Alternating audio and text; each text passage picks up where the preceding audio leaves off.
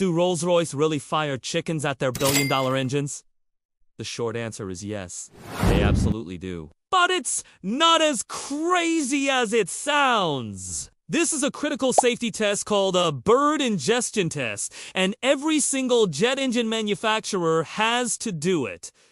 So, how does it work? Engineers use a special air cannon, nicknamed the chicken gun, to launch thawed bird carcasses into a running engine at full takeoff power. The birds hit the engine at hundreds of miles per hour, simulating a real-life bird strike. To pass the test, the engine can't just fall apart. It has to keep running, maintain a certain level of thrust, and safely contain any damage. This all started because bird strikes can be catastrophic. Remember the miracle on the Hudson? That was caused by a flock of geese. These tests ensure engines can handle such an impact, allowing pilots enough time to land safely. And that famous story about NASA telling engineers to thaw the chickens first? It's a hilarious urban legend but the real test is just as wild. Thanks for watching.